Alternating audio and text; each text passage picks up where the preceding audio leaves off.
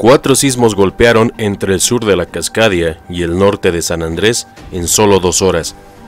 Un enjambre sísmico golpeó entre el sur de la Cascadia y el norte de la falla de San Andrés el 3 de febrero de 2019.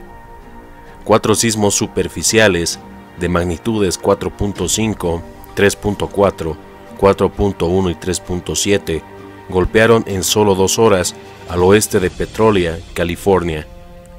Un quinto sismo de magnitud 2.8 superficial golpeó la misma área horas más tarde. De acuerdo con el mapa de la página Trembler, los cinco terremotos ocurrieron en una falla inversa lateral derecha que conecta la zona de fractura de San Andrés Mendocino y la parte superficial de la zona de subducción de la Cascadia. Esta región es la que casi une a las dos fallas por un deslizamiento más rápido en el oeste de los Estados Unidos. También es donde las fallas de San Andrés y la Cascadia se doblan, lo que significa que en esta zona la corteza está siendo presionada y fracturada. Los expertos afirman que ambas fallas están atrasadas de un terremoto catastrófico.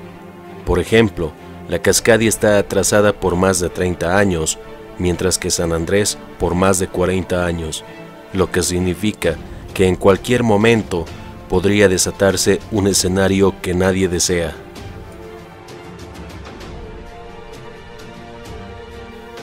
Según reportan medios chilenos, al menos seis ciudades del país han batido el récord de calor de febrero. La Dirección Meteorológica de Chile publicó el lunes 4 de febrero de 2019 un mapa de la zona centro-sur del país con temperaturas muy altas registradas en las principales ciudades. El mapa muestra que en 8 se rompieron récords de altas temperaturas. Las ciudades más afectadas fueron Valdivia, Santiago, Osorno y Puerto Aysén. La Dirección Meteorológica de Chile emitió además una nueva alerta por altas temperaturas en los valles y precordillera de las regiones entre Valparaíso y Magallanes. Por su parte, incendios forestales severos han estado golpeando al país, dejando dos decesos y más de 120 damnificados. Alrededor de 20 incendios continúan golpeando el centro y sur del país. Las zonas más afectadas son la Araucanía, la región del Biobío, la región de los ríos al sur de Chile y la región de los lagos al centro-sur de Chile. Los incendios ya han consumido más de mil hectáreas. Las autoridades afirman que la causa de los incendios se debe a las condiciones climáticas extremas que están golpeando al país y que son muy favorables para la propagación del fuego.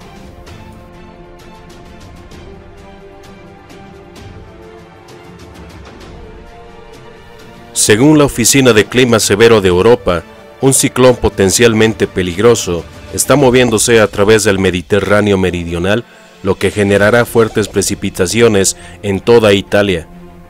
La oficina afirma que el sur de Italia se encuentra en un periodo de fuertes lluvias que continuarán hasta el martes 5 de febrero por la noche.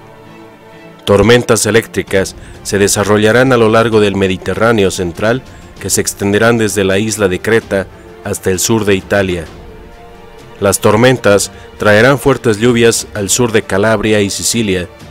Se esperan de 100, 150 y hasta 200 milímetros de lluvia.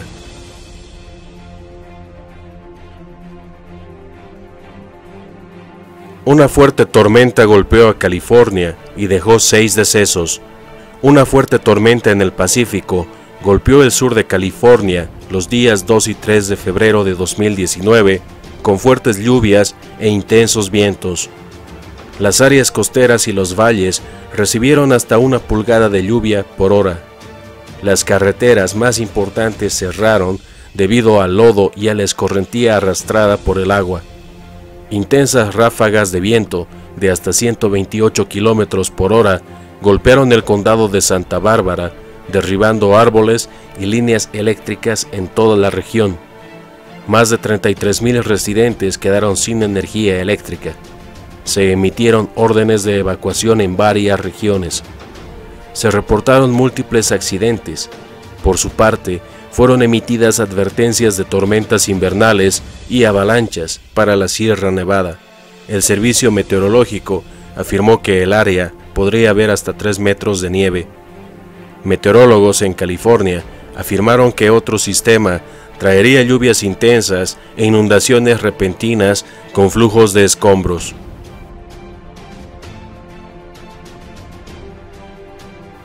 Un inusual tornado se registró en la ciudad paraguaya de Nueva Esperanza. Un inusual tornado causó asombro en los residentes de la colonia Marangatú en el departamento de Canindeyú, Paraguay, el lunes 4 de febrero de 2019. Según informan medios locales, el tornado duró más de 18 minutos y no causó daños severos ni hubo afectados. Aunque muchos residentes quedaron asombrados por el raro tornado, meteorólogos afirman que esta es una región propicia a tener este tipo de fenómenos.